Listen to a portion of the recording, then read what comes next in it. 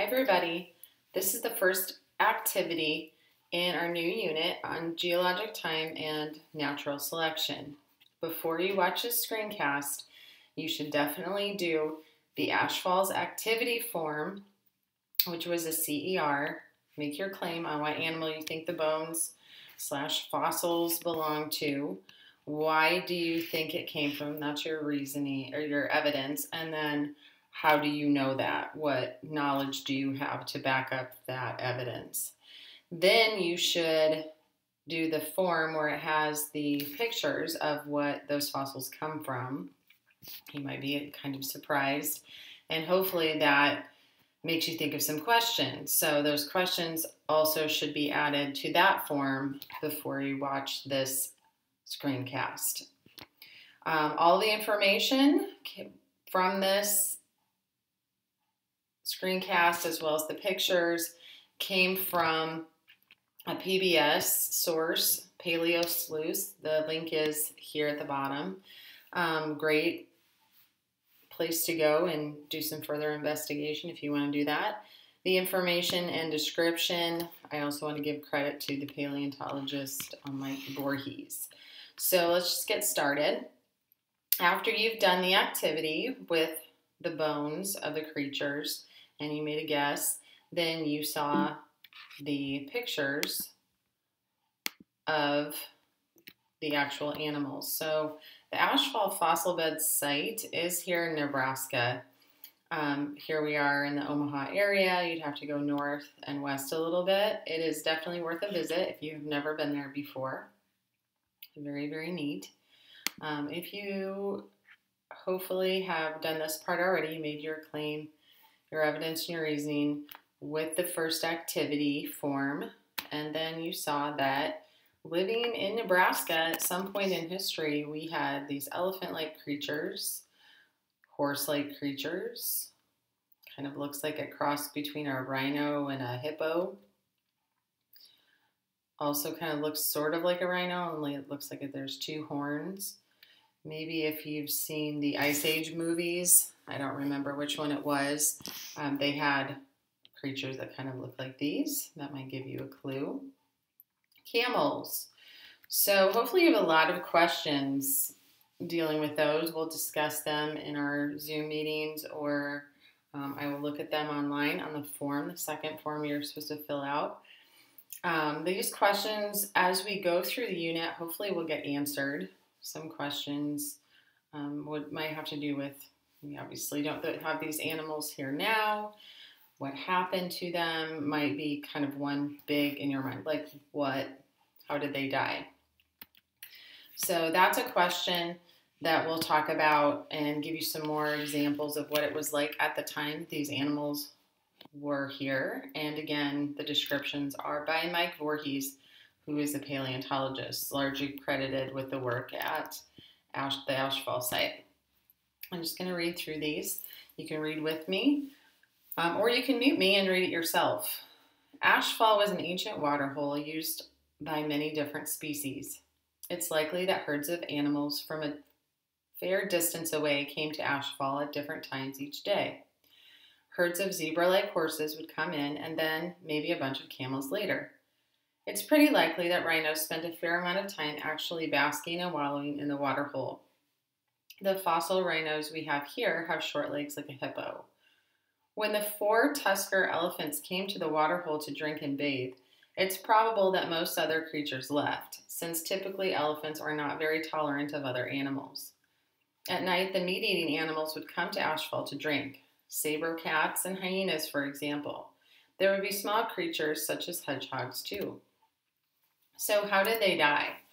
Uh, basically, there was a really, really large eruption.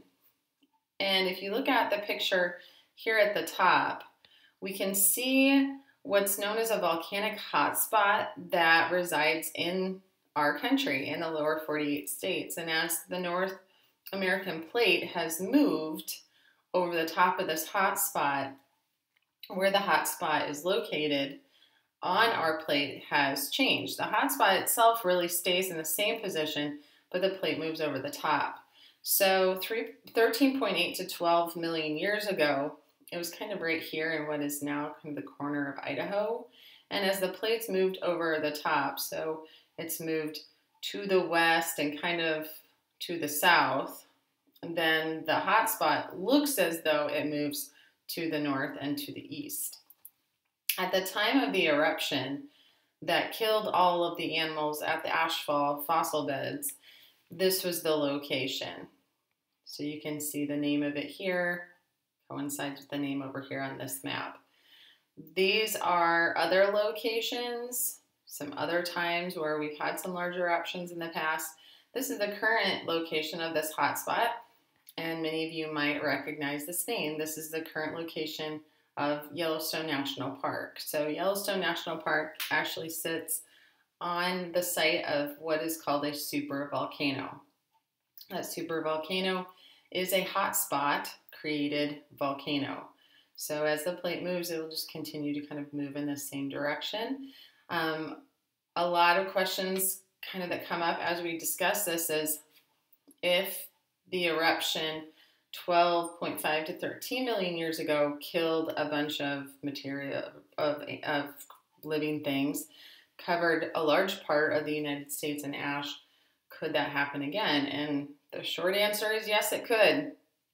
We do monitor Yellowstone very thoroughly currently, so we probably know when that's happening, but there really would be no way to stop it. So, um, 12.5 to 13 or 11.3 million years ago, in this current location of what we call today the Yellowstone hotspot, there's a giant eruption.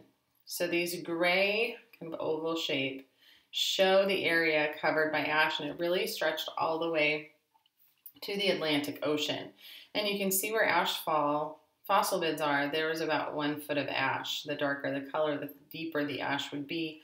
Um, beyond this would be less than one foot of ash. So what happened after that eruption? Day one, the ash cloud that descended on the waterhole was not necessarily a visible cloud. The sky probably got dark. It probably first was like a haze. It'd be like the air in LA. You'd have a haze of material that came in. The sky would get darker and there, there would be this stuff coming out of the sky. Since these animals had never seen snow, this is probably something that was entirely new to them. It appears birds such as cranes, hawks, and vultures died quickly, possibly within hours of when the ash dust started falling. Their skeletons were found at the lowest levels of the ash beds, suggesting they were among the first to fall. Pond turtles were also among the early casualties. So this is all in day one. If you remember from your knowledge of volcanoes, this ash is really fine material, really like dust. But if you look at it under a microscope, it's tiny little pieces of glass. So it's very mm. irritating to the eyes and the lungs, and it can very easily be inhaled. On days two through five, the dust came down hard and fast. The animals with the least lung capacity perished by the herd as gray powder covered the land. The fossil layer containing the small deer, three-toed horses, and camels is higher than the remains of turtles and birds, suggesting the small animals survived a little longer. The ages of the animals and their states of preservation suggest they died in close succession. Three to five weeks. Ash hung in the air and coated every bit of vegetation. Each step kicked up more ash, contributing to the slow death from suffocation. Skeletons of camels, horses, rhinos, and other large animals show they had a lung condition known as Marie's disease. The animals were probably thirsty and suffering from high fever. After several weeks of inhaling the ash, their body temperatures went way up, and it probably felt good to them to lie down in the mud. It's unlikely that all the fossils in the ash bed were animals that just happened to be there at the time. The sickened animals probably came because they knew they could get water there. Rhinos survived the longest, up to five weeks. One to three months. After all had died, the remains of the animals, small and large, were covered by the blowing, drifting ash. A few scavenging meat eaters disturbed carcasses, but most bodies stayed in the same position in which they died. Some had their last meals in their mouths or stomachs. Remember this slide as we move on to our next lesson. One to two years. Ash remained in the air for years. The only thing that would make the ash stop blowing was when it fell into the water. The water would actually capture the ash, and when you look at the fossil bed that here at Ashfall, you can see that it consists of about 600 little separate layers of volcanic ash. Each one of those layers would be where a puff or of wind had delivered a cloud of dust. It was captured by the water, and in the water hole, it fell to the bottom as a layer of ash mud. Gradually, five to six feet of ash covered the bodies.